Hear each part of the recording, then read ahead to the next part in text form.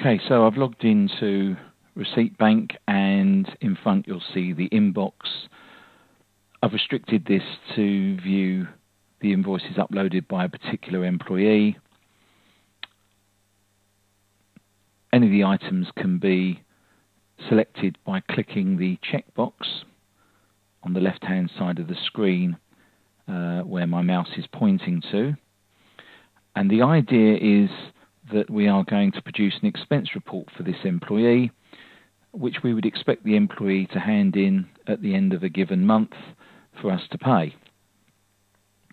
The first point in dealing with this is to make sure the invoices have been coded correctly, and for this I'm only going to deal uh, with the first two. So as usual, clicking on the blue receipt will bring up the item that's ready to be coded I'm going to discount the VAT on this item.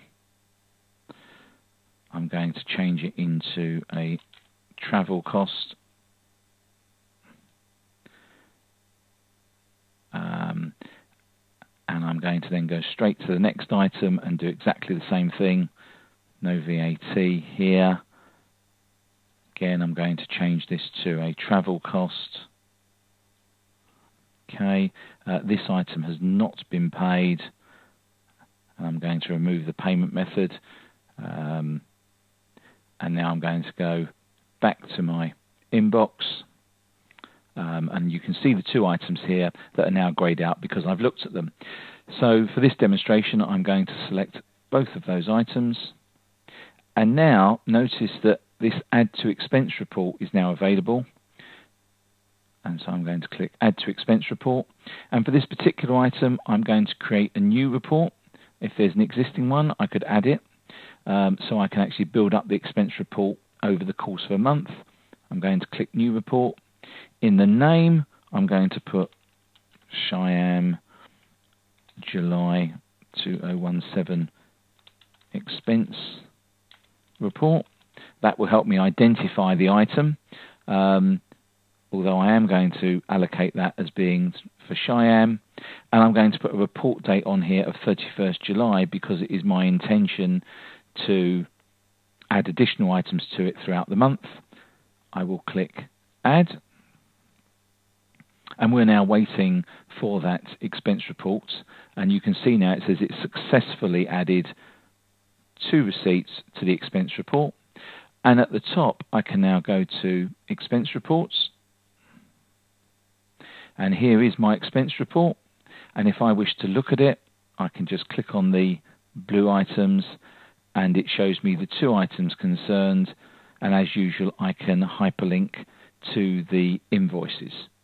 Now, I don't want to publish that yet, uh, but there was one that I published earlier for June 2017. And so I'm going to hop across to Xero and as you can see, this is the Shyam expense report for 2017, uh, which is shown under contacts. And if I click on that item, um, it's going to show me his account. There's only one item in it. Um, and I can click on the actual item concerned, which has not been uh, approved yet. Um, here is the item. Um, and now as is usual with Xero, the uh, invoice itself is shown under Documents, which is a PDF. And there is my uh, PDF, which is a little bit hard to see, but we can download that.